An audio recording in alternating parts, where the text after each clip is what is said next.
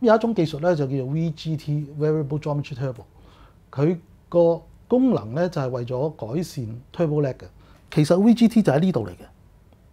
啲廢氣衝入去嗰個渦輪葉片嘅時候咧，我哋咧就有啲葉片去改變佢個方向，同埋咧改變佢入氣嗰個直徑。佢有兩個功能，由於個窿細咗咧，就會令到個速度提高。另外咧就係你見到佢咧轉咗去黃色嗰邊咧，就係個角度咧啱啱係同個車葉咧成九十度。咁嗰個時候咧，就算好細嘅風速咧，對於嗰個車葉嚟講咧，都係一個好嘅推動力。然之後當我轉快咗嘅時候咧，咁我就可以打翻開佢，我入去個窿咪大咗咯，咁就可以得到一個最大嘅功能咯。咁所以咧，呢個就係 VGT 嘅設計嘅原理啦，就係佢喺轉速低嘅時候，佢盡量去攞盡晒風速同埋嗰個誒推動力，克服咗慢速嗰段時間。咁然之後咧，個轉速一上咗嘅話咧，嗰個效率就會好高噶啦。VGT 咧最初設計咧就喺電油車嗰度嘅，但係你發覺咧今時今日咧好少電油車咧係用緊 VGT 嘅，但係大部分嘅柴油車咧都用 VGT 喎。點解咧？就係因為柴油車佢低速嘅時候咧個轉速係非常之慢。第二咧就係柴油車個效率咧好高嘅，所以佢個廢氣出嚟咧個溫度同埋壓力本身都唔夠電油車咁高嘅。我哋喺柴油車嘅低轉嘅時候咧係更加需要用 VGT。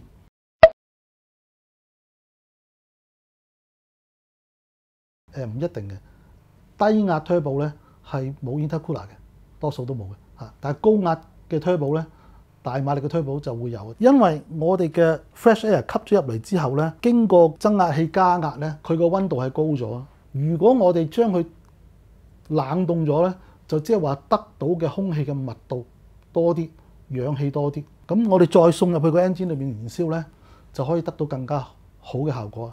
intercooler 咧。我哋常見係會有 air to air、air to water 兩種啦。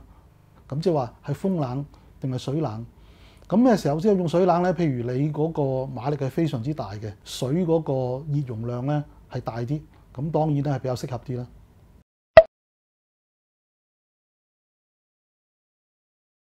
跟住落嚟咧，我哋講下 turbo 車使用嘅時候咧，有啲咩要留意嘅地方啊？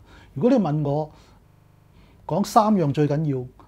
關於 turbo 車嘅嘢咧，我會話第一係解油啦，第二係解油，第三都係解油。Turbo 做起嘢上嚟嘅時候咧，真係開始全力工作嘅時候咧，佢個轉速係十幾二十萬轉。有咩軸承可以應付呢啲咁樣嘅轉速咧？咁咧通常有兩種設計，一種咧就係叫做 hydrodynamic bearing。見到黃色呢一個部分咧，其實係一個浮動嘅杯頂嚟嘅，佢內外都有一浸油膜，就係靠浸油。浮起成個杯頂係浮喺度嘅，咁你可想而知咧，油係幾咁重要。浮起嗰浸油膜有幾厚咧？大約係二十至到四十個 micron 咁上下啦。亞洲人一條頭髮嘅直徑大約係六十個 micron 度啦。